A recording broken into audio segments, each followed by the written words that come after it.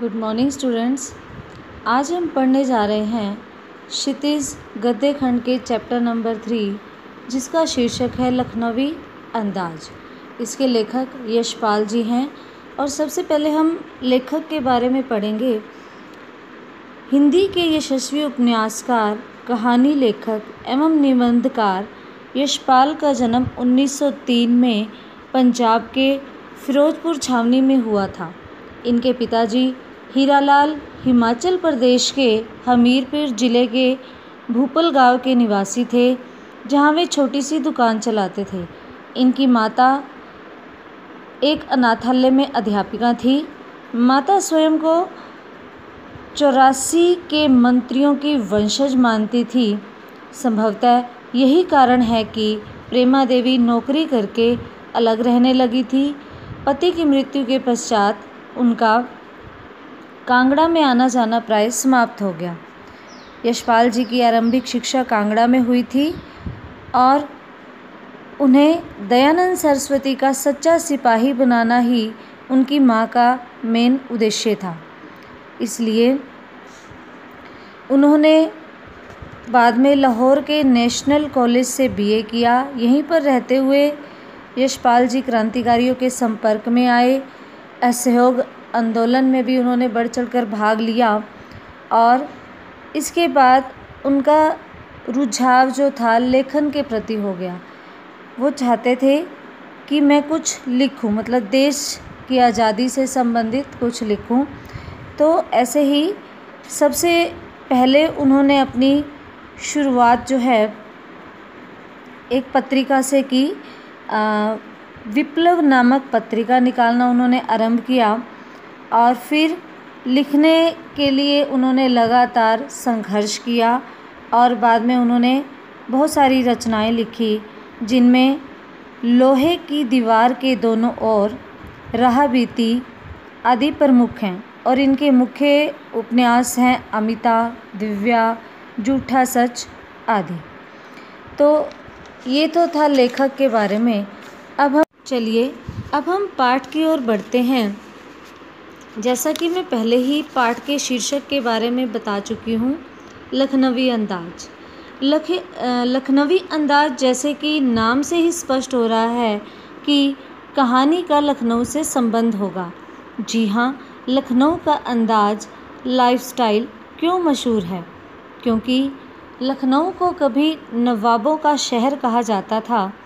वहाँ के रईस ही नवाब हुआ करते थे। उनके रहने सहने का ढंग अलग होता था।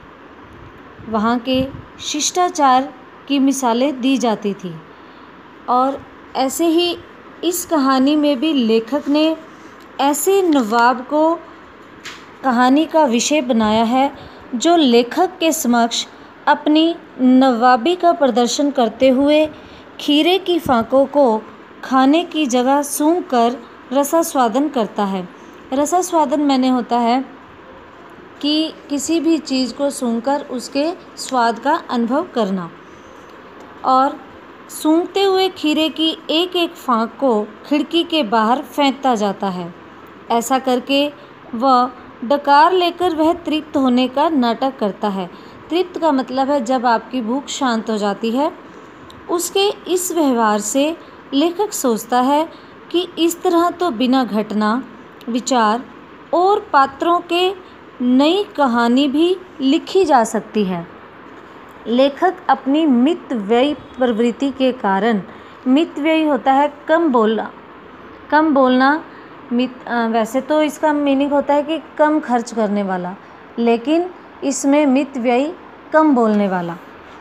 प्रवृत्ति के कारण सेकंड क्लास में यात्रा नहीं करना चाह रहा था। फिर यह सोचकर कि भीड़ से भी बच जाएगा, कहानी के संबंध में भी सोच सकेगा और उसे प्राकृतिक दृश्य खिड़की से देखने को मिल जाएँगे। अतः वह सेकंड क्लास का ही टिकट ले लेता है। गाड़ी छूट रही थी। भागकर सेकंड क्लास के डिब्बे में चढ़ गया। लेखक को अनुमान था कि डिब्बा खाली होगा। लेकिन उसने देखा कि एक बर्थ पर लेखक के नवाबी अंदाज में एक सफ़ेद पोश सज्जन पालथी मारे बैठे हैं, जिनके सामने तौलिए पर दो खीरे रखे हुए हैं। लेखक का सहसा आ जाना, सहसा मैंने अचानक आ जाना उन्हें अच्छा नहीं लगा। नवाब साहब ने लेखक के प्रति कोई रुचि नहीं दिखाई और ना लेखक ने ही परिचय करने का प्रयास किया। लेखक ने उनकी तरफ़ से आँखें चुरा ली।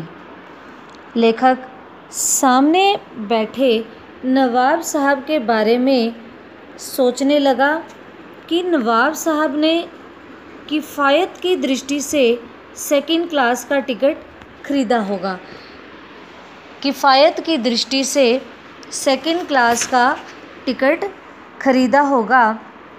और यहाँ पर किफ़ायत शब्द आया है, किफ़ायत मितव्ययता यानी कि वही बात आ गई जो मैं पहले मीनिंग बता चुकी हूँ कि कम खर्च करने वाला।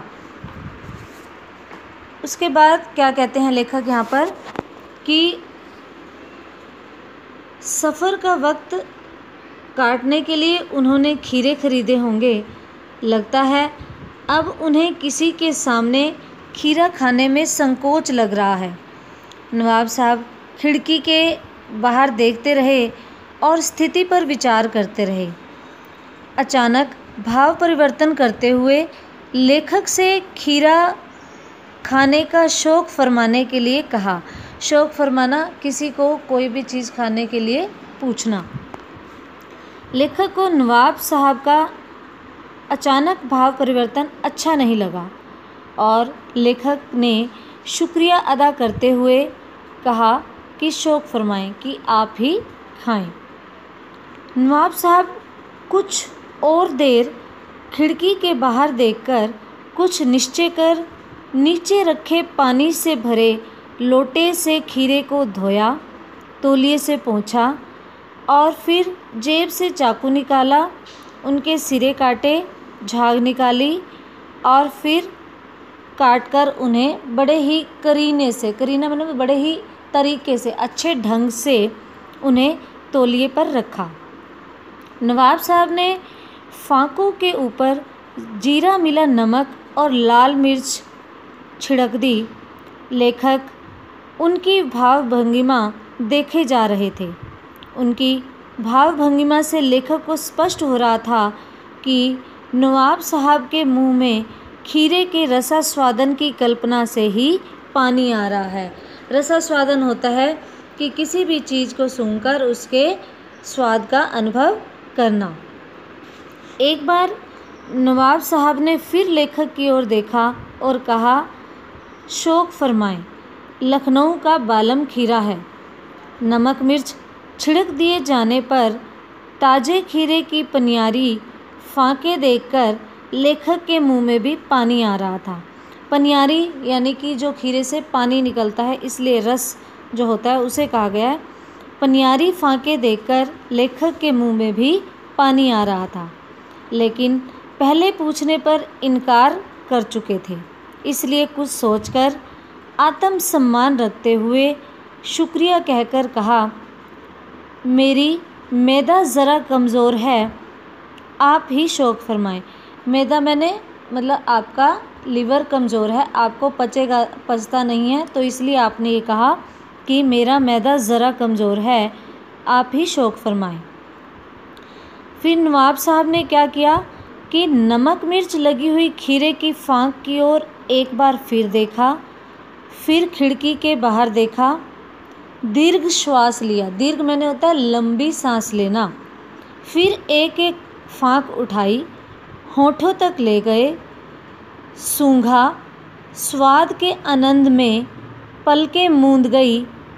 मुँह में भर आए पानी को गले में उतार लिया और फांकों को एक एक करके सूंघ कर बाहर फेंकते गए उसके बाद तोलिए से हाथ और होठ पूछकर गर्व से लेखक की ओर देखा। इसमें देखो, क्या किया नवाब साहब ने? कि खीरे बड़े अच्छे तरीके से काटे, नमक मिर्च लगाया, उन्हें तरीके से रखा तौलिए पर। फिर उन्होंने केवल उन्हें सूंघा और सूंघ कर ही उसके स्वाद का अनुभव किया और फिर उन्हें बाहर फेंक दिया। फिर क्या कहते हैं? नवाब साहब खीरे सूंघकर और फेंक कर हाथ मुँह पहुँच लेट गए। मानो इस काम में वे थक गए हों। लेखक नवाबी प्रक्रिया को देखकर शर्म महसूस कर रहा था और सोच रहा था कि खीरों के प्रयोग की नई प्रक्रिया अच्छी ज़रूर कही जा सकती है, किंतु क्या इस तरीके से उधर की तृप्ति हो सकती है? उधर मैंने होता है पेट। आपको भूख लगी हो आपके सामने खाना रखा जाता है, आप उस खाने को, खाने के इच्छुक हैं, क्योंकि भूख लगी आपको। लेकिन फिर क्या आप इस प्रकार से, जैसा कि नवाब साहब ने किया, इस प्रकार से आप अपनी भूख शांत कर सकते हैं? नहीं। इसलिए लेखक ने कहा कि उधर की तृप्ति नहीं की जा सकती। केवल आप भोजन सामने रखा है, आप उसे देख रहे हैं, उसे उठाते हैं मुँह में डालने के लिए, लेकिन सूंघ कर ही उसे वापस रख देते हैं। इससे आपका पेट तृप्त नहीं होगा, यानी कि भूख शांत नहीं होगी। इसके लिए क्या होगा? अपनी भूख शांत करने के लिए आपको खाना तो पड़ेगा। तो लेखक कहते हैं कि क्या इस तरीके से उधर की तृप्ति हो सकती है? इसी बीच नवाब साहब को डकार आया और लेखक की ओर देखते हुए कहा, खीरा लजीज होता है, लेकिन होता है स्किल, यानी कि खाने में सख्त है। यानी कि मुझे पचता नहीं है, मेरे मैदे पर बोझ डाल देता है। ना पचने के कारण मैंने इसके रस का अनुभव किया और अपने भूख शांत कर ली। तो यह सब देखकर लेखक को लगा कि अगर बिना खाए नवाब साहब अपनी भूख शांत कर सकते हैं स्वाद का अनुभव कर सकते हैं। तो क्या बिना विचार, घटना और पात्रों के केवल लेखक की इच्छा मात्र से नई कहानी क्यों नहीं बन सकती? लेखक के इस कहानी से स्पष्ट हो गया कि बिना घटना, पात्रों के भी केवल लेखक की इच्छा मात्र से, यानी कि लेखक अगर जो कुछ भी सोच ले, उससे वह कहानी का निर्माण, यानी कि कहानी को रच सकता है, लिख सकता है। बच्चों, इस पाठ के माध्यम से एक बात और उभर कर हमारे सामने आती है, वो है दिखावा। क्या दिखावा करना हमारे लिए फ़ायदेमंद है? नहीं, क्योंकि बेटा जो दिखावे की प्रवृत्ति होती है, दिखावा करने की जो आदत होती है, वो हमें हमेशा पीछे की ओर ले जाती है। कैसे? मान लीजिए आपके पड़ोस में किसी ने बड़ी गाड़ी ले ली। बड़ी गाड़ी ख़रीदी उन्होंने, क्योंकि उनका बजट अलाउ कर रहा था, उनकी पॉकेट अलाउ कर रही थी। लेकिन उसकी देखा देखी में आप भी अपने घर में गाड़ी लाना चाहते हैं, जबकि आपके पास बाइक भी है स्कूटर भी है, लेकिन आपकी भी इच्छा हो जाती है कि आप भी एक कार ख़रीदें। लेकिन आपके पास पैसे नहीं हैं। तो दिखावा करने के लिए आप बाज़ार से कार ले आते हैं। कैसे लाते हैं? कर्ज़ उठाकर।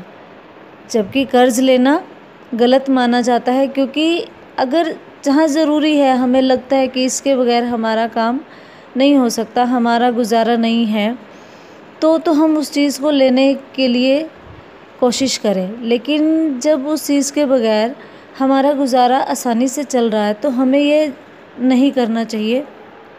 दिखावे के कारण हमने कार तो ख़रीद ली, कर्ज़ उठा कर ली, लेकिन समय पर हम कर्ज़ नहीं चुका पाए तो उससे क्या होगा? आपके पेरेंट्स को दिक्कत होगी, आपको दिक्कत होगी, और कहीं ना कहीं आप लोगों को शर्मिंदा भी होना पड़ता है दूसरों के सामने। तो इसलिए दिखावा जो है वो हमारे लिए सही नहीं है। हाँ जब कभी हम, हमारे पास पैसे आ जाएँ तो हम अपने शौक़ पूरे कर सकते हैं और सिर उठाकर चल सकते हैं। और मतलब हमारे जीवन में दिखावे की प्रवृत्ति जो है, हमें हमेशा पीछे की ओर ही लेकर जाती है। इसलिए हमें दिखावा नहीं करना चाहिए।